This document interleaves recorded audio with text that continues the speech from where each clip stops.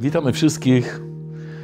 No mamy tą świadomość, że ktoś nas może będzie słuchał, więc chcieliśmy się przedstawić. No ja mam 55 lat, mam na imię Ryszard, to moja żona Jadwiga, jest troszeczkę młodsza ode mnie.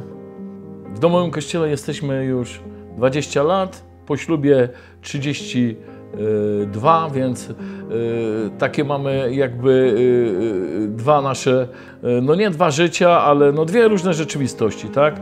Y, Kiedyś y, spokojnie żyliśmy sobie jako niedzielni y, chrześcijanie, Y, mieliśmy dwie córeczki, pieska, no i tak po 30 parę lat wydawało nam się, że się już zestarzejemy do emerytury.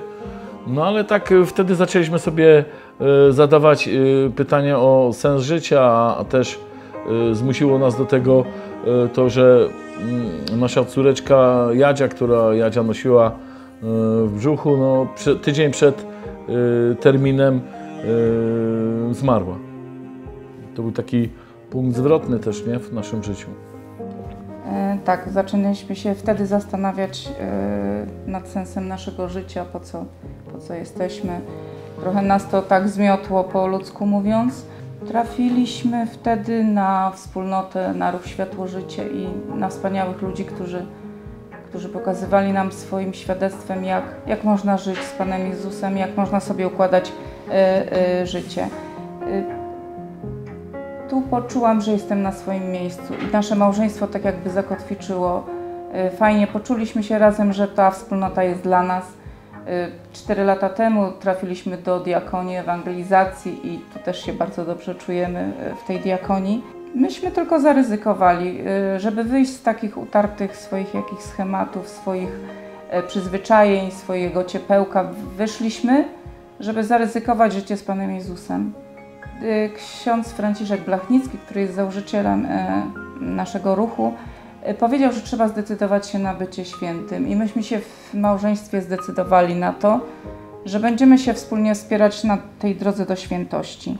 Y, Bo wiedzieliśmy, że ta droga i ci ludzie, którzy świadczyli y, swoim życiem, że oni, że oni są pogodni, oni są radośni, oni wydają się być na swoim miejscu i poprzez, poprzez tych ludzi Bóg do nas e, po prostu mówił. Znaczy, ja, ja też y, chciałbym na przykład no, wrócić do, do tej chwili, jak, jak Pan Jezus y, powoływał swoich uczniów, bo y, tak dzisiaj czy wczoraj właśnie zastanawiałem się nad tym, jak, jak to się działo w naszym życiu, no w moim życiu.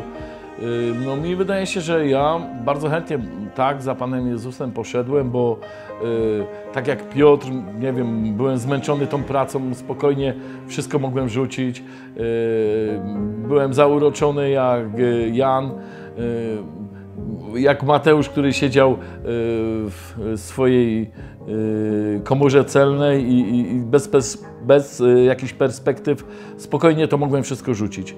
Ale mm, no tak, i, i potem iść z nim, oczywiście y, grzać się w jego cieple, patrzeć jak, jak uzdrawia, jak, y, y, jak głosi słowo, jak y, poucza faryzeuszy, jak, jak jest na górze tabor, bo, bo takie y, chwile można zna, znaleźć w swoim życiu, kiedy, kiedy idziesz y, za Panem Jezusem. No ale też mm, przychodzi taki czas próby. Tak? I zastanawiałem się, no to y, gdzie ja byłem y, y, w ten dzień? Czy, czy może na Górze Oliwnej y, z kijami i ze zgrają y, naigrawałem się y, ze wszystkiego albo szukałem tylko swojego w swoim życiu? Może tak jak Piotr, zapieram się, że wolę płynąć z prądem? Czy y, może nagi uciekam y, ze swoimi słabościami, grzechami? No nie wiem, albo, albo też jak y, uczniowie do Emaus, chcę uciekać i zapomnieć o wszystkim.